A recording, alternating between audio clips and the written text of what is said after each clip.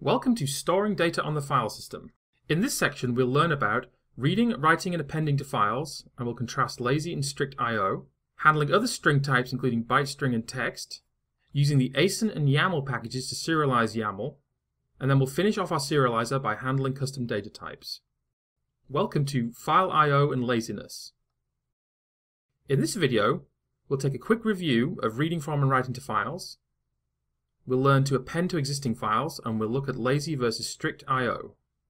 Let's start by opening a command prompt in our to-do app directory and we'll start GHCI. We've already encountered the read file and write file functions and we'll use write file to create a file. And then we'll use read file to read it back again. We'll also append using append file. This will put a new line on the end of the file. That'll add another string.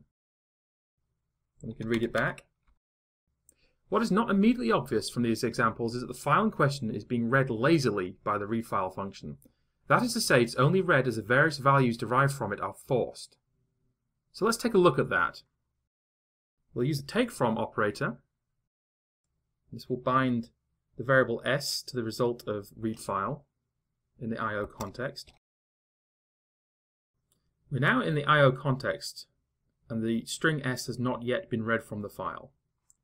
And with the help of tools like lsof on Linux and Mac OS, or the handle64 or handle command from sysinternals on Windows, we can see that GHCI has a handle open on the file. So we'll use the command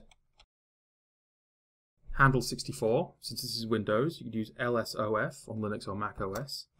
Process name is GHC. The file is file.txt. This will tell us that this process, ghc.exe, has a handle open to the file, file.txt. Let's look at the type of S. We can see this is a string, not an IO string, since we are using a yield from operator, which we commonly use with do syntax. We can use sprint to look at the state of the thunk of S. And we can see here that it is not yet forced. And you'll remember from previous videos in this series of courses that the sprint command will report the state of the thunk without forcing its evaluation. And so at this point, read files opened the file handle, or descriptor, corresponding to file.txt, but has not yet read any characters from it.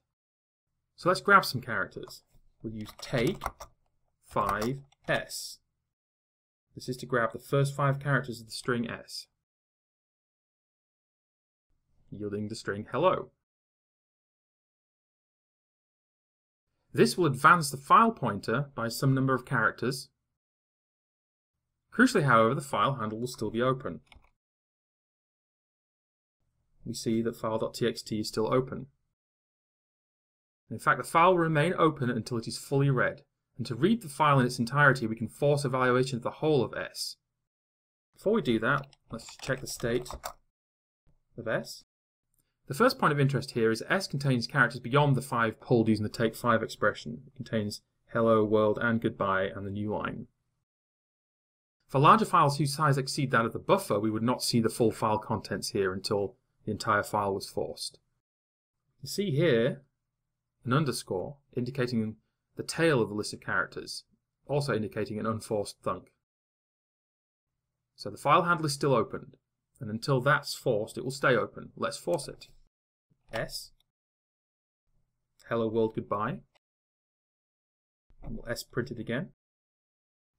We have full string and no unforced thunks. This is an example of lazy I.O. when the file is read on demand. And we can compare this with a strict version of read file. This is in the strict package. I've already added the strict package to our Cabal file. We'll import system.io strict, and we use qualified imports. Import it with the alias s. Now we can take strings from the file using read file in the s namespace. Type, and we can use sprint to look at the thunk again. And we can see it's been forced. Furthermore, our handle command tells us that there is no matching handle. So file.txt has been opened and closed, and the string has been read in its entirety. For simple applications such as our to-do list, the choice of lazy versus strict I.O. will not make much difference for two main reasons. We only typically open one file per invocation of our program, and the program will not keep the file open for very long. However, for more complex systems, the difference in behavior might be significant for several reasons, not least of which are laziness makes it difficult to predict when a file handle will be closed, and this can lead to a program exhausting upper limits and open file handles very easily. This can happen particularly when the program processes multiple files in parallel. Laziness might mean that the file handle is never closed during the lifetime of the process and only closed when the program terminates. So in general, experienced Haskell developers will prefer strict over lazy I.O. for these reasons and others. And even for our simple program, we will do the same. And this is both because it's a habit worth learning and because the serialization packages we're going to use will require it.